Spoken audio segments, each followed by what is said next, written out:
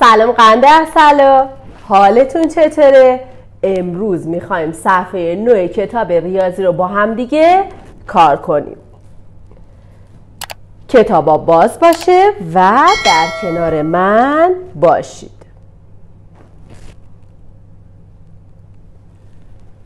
مغازهداری نوعی بیسکویت را بسته 450 ریال می‌خرد و 500 ریال میفروشد. یعنی این آقای مغازهدار توی مغازش چی داره؟ بیسکویت داره. 450 تومن می‌خره و توی مغازش چند می‌ذاره که اونو بفروشه؟ 500 ریال. با کامل کردن جدول سود فروش هر بسته بیسکویت را حساب کنید. برای اینکه مسئله رو بتونیم خیلی بهتر حل کنیم و زیر مسئله های اون رو بتونیم پاسخ بدیم بهتره که چه کار کنیم؟ بهتره که جدول بکشیم. تعداد بسته های بیسکویت سود بیسکویت ها آقای مغازهدار گفتیم بیسکویت ها رو چند می‌خره؟ 450 ریال می‌خره و 500 ریال میفروشه.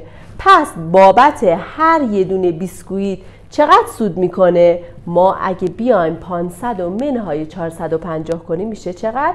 میشه 50 پس بابت یه دونه بیسکویت چقدر سود می‌کنه؟ 50 ریال.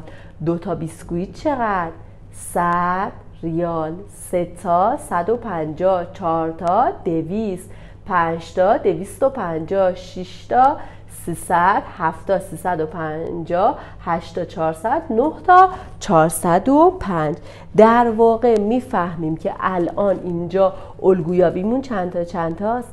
بله الگویابیمون 50 تا. 50 تا بهش اضافه میشه. چرا 50 تا؟ چون هر یه دونه بیسکویتو که فروخ خود آقای مغازه‌دار چقدر بابت اون سود کرد؟ سود یعنی چی؟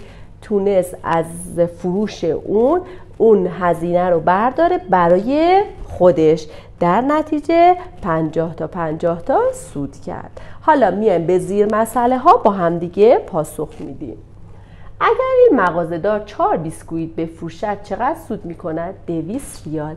البته که جواب اینها رو می‌تونیم روی چی پیدا کنیم؟ می‌تونیم روی جدولی که کشیدیم پیدا کنیم. من جدول یک مرتبه دیگه برای شما ها میارم. توی چهارتا چقدر سود کرد؟ 200 تومن. 200 ریال سود کرد. چند دسته بیسکویت باید؟ چند دسته بیسکویت باید بفروشد تا 300 ریال؟ سود کند؟ بله شش بسته که از روی جدول اسلاید قبل هم می‌تونید به سوال پاسخ بدید.